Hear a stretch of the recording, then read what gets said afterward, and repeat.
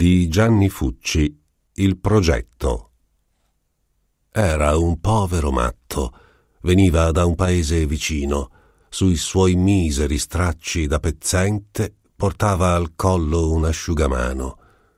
Se vedeva un fiore sul ciglio della strada, si fermava a guardarlo pieno di meraviglia.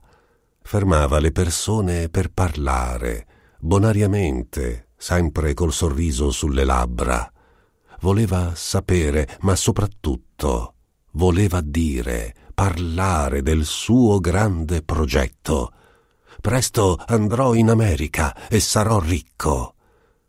La pazzia è libertà